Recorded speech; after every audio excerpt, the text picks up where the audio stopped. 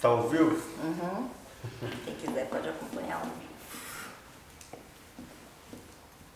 Oh, mas eu curti aquelas receitas ali, viu? Receita? Que Qual? tava lá do negócio da sua. Ah, sim. São. Ok.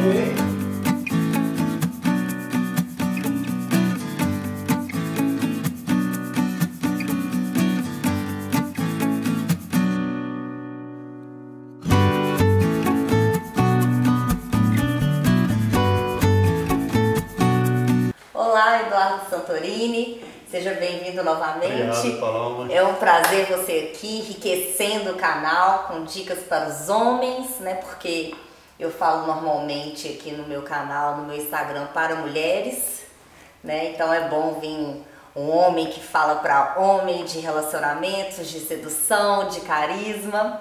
E bom, o tema de hoje é como ter mais carisma, como ter mais magnetismo pessoal. O Eduardo lançou, né? Agora um Ah, sim. curso. Fala pra gente desse curso. Onde eu falo de desenvolvimento de habilidades sociais em todas as áreas e não só na, na conquista ou na paquera. Mas hoje ele vai falar aqui pra gente na conquista, né? Como que. Na conquista não, né? Conhecer pessoas e ser mais carismático e ser mais agradável e conquistar, fazer, o- ampliar o ciclo social, né? Eduardo, conta pra gente. Como é ter carisma e charme pessoal? Como que a gente faz? Bom, ah, muita gente pergunta. Não, eu acredito que é uma habilidade social, como qualquer outra, pode ser aprendido. No entanto, sim, existem algumas pessoas que naturalmente têm um carisma e um charme pessoal. É aquela pessoa que você conversa durante cinco minutos e se torna Dança, a dança na mãozinha. E no final vai dar uma gotadinha. melhor amigo da, da pessoa e é super simpática, carismática. E ter esse carisma tem vantagens em diversas situações. No trabalho, por exemplo, a pessoa que faz amigos, tem conexões, consegue fazer um networking, é uma pessoa que tem muito mais sucesso. Às vezes é uma pessoa extremamente competente, mas é, é tímida e fica na dela, não sabe vender o peixe, e não consegue se relacionar, muitas vezes ela fica estagnada na, na carreira, na, na vida, e justamente porque falta habilidade social. É como se a pessoa não, não, não tivesse usando todo o seu potencial, toda a sua eh, ferramenta Entendi. de, de comunicação. Esse, esse é, um, é um ponto. E outro que o carisma ou a habilidade social pode ser usado em diversas situações, diversos mo- momentos, como a paquera, por exemplo, que foi inclusive onde eu comecei a, a, a me interessar, que eu, tava, que eu sou extremamente tímido e tinha muita dificuldade de me aproximar e conversar com, com, é, conversar com as garotas, e foi daí que eu me interessei por esse tema, especialmente. Entendi. Então dá pra gente três dicas, três formas de como a pessoa pode ser mais carismática. Bom, tem várias coisas. Eu acho que quem está assistindo e tem interesse, tem um livro muito bom, um clássico, antigo. Não sei, tá live aqui? Tem É. aí? Tá. Bom, ah, o primeiro é, livro, que é um clássico, é o Como Fazer Amigos E influenciar pessoas. Influenciar Pessoas, do Dale Carnegie, que vendeu milhões de cópias e apesar de ser um livro antigo, os fundamentos que tem ali são ex- excepcionais. É melhor, são melhor, um dos melhores livros que eu já li.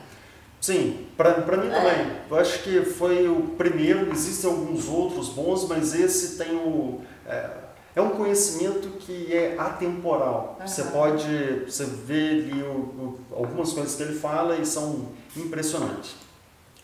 Uma coisa básica que, que eu falo, linguagem corporal aí, de contato visual, ter as mãos à mostra e não tipo, ah, escondido ou, ou ficar recatado. E falar do assunto de interesse da outra pessoa. Porque é um erro muito comum de, de algumas pessoas que elas começam a todo momento falar delas mesmas. Ah, eu faço isso, eu aquilo, eu. Nossa, ah, boring. Sim, Nossa. e a, a melhor forma de você conquistar alguém não é você tentar impressionar, mas é você se sentir impressionado. Por exemplo, você está num grupo de, de amigos, ao invés de você ficar falando de você, pergunte sobre o que está passando na vida do seu amigo, quais são os projetos, o que, que ele tem de sonho. A pessoa vai se interessar e gostar muito mais de você. É, naturalmente ela vai ficar mais. É, mais simpática, né? Sim, e, Bom. e tem um ponto que muita, muita gente fala que é. Eu penso, ah, mas eu vou deixar de ser eu mesmo, eu vou estar fingindo, eu vou estar tentando manipular. Na verdade, não, muito pelo contrário. Você vai estar aprendendo uma versão melhor de você. E eu acho, por exemplo, ah, eu não, nunca fui na academia, eu não estou numa boa forma física. Então, ah, eu não vou malhar ou entrar numa boa forma física porque aquele não sou eu. Não, eu posso me tornar melhor. No entanto, é, você praticando e fazendo algumas coisas como eu ensino lá no, no artedocarisma.com, você não vai ter o carisma ou a confiança do Silvio Santos na, na próxima semana. É uma coisa que leva tempo, e, mas vale a pena. É. Tem gente que naturalmente é, né? Questão da criação, né? Os pais que estimularam, mas a gente pode desenvolver. Outra dica também é falar o nome, né? Lembrar o nome da pessoa. A maioria das pessoas, eu já fiz isso demais. Eu acabo de cumprimentar a pessoa, no mesmo segundo eu já esqueci o nome dela. Mas se você tá numa conversa, papapá, você fala, ô Maria Clara, não sei o que, e fala o nome dela, aquilo é como música pro ouvido dela, né? Ela realmente gosta de que saiba o nome dela, se sente importante. É, bem lembrado. E falar o nome e vai além. Além de falar o nome, é você genuinamente demonstrar interesse pela, pela outra pessoa. E quando você. O nome da pessoa é a palavra mais bonita que tem pra, pra ela. Realmente. E eu gosto muito também dos, dos elogios, né? As pessoas costumam ser discretas em relação ao elogio. Nossa, eu já encontrei, entrei num lugar, vi uma mulher bonita que tá usando alguma coisa bonita. Eu falo, nossa, você tá elegante hoje. Não sei o que, e dá um sorriso, a pessoa já sorri, ai que bom, afinal ela se arrumou toda para aquele evento, é aquilo que ela escolheu porque ela achou que ela ia ficar legal e etc. Então você reconhecer os pequenos esforcinhos que as pessoas fazem assim, Sim, não, muito bem lembrado também. E só colocando um detalhe, é fazer o elogio, mas sem bajular. Porque tem, tem algumas pessoas que, ok, ah, ah, ok, eu vou ser carismático, eu, eu quero subir alguns degraus na minha carreira e começa a bajular o chefe, tudo que faz ali, tá elogiando. Não, tem que ser alguma coisa genuína, sincera, aí sim É, funciona. o elogio sincero, né? Você não vem inventar lá, a mulher tá com uma camisa horrorosa, o cara, e você fala, você tá lindo. Não, não precisa ser assim, é melhor ficar calado, né? Sim.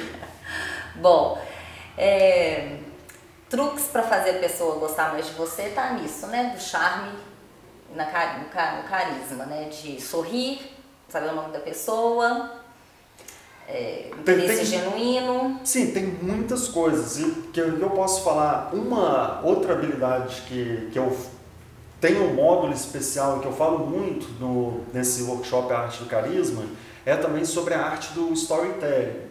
Contar histórias. E tem um segredo para falar isso. Por exemplo, antes da gente começar a gravar, você estava contando uma história de um cliente seu de, de coach, e foi uma história super pequena, de 20 segundos, e que me vendeu a ideia, conectou. Caramba, bacana, legal, eu tenho interesse né, nesse serviço. E, e também aí sobre storytelling, dá duas ou três dicas. Uma é não. Geralmente aquela história super demorada vai encher o saco. Tente colocar uma história igual os. é, quem faz stand-up como tu faz. É uma história pequena, rápida, que a pessoa entende, tem uma moral ali, e, é- e é isso.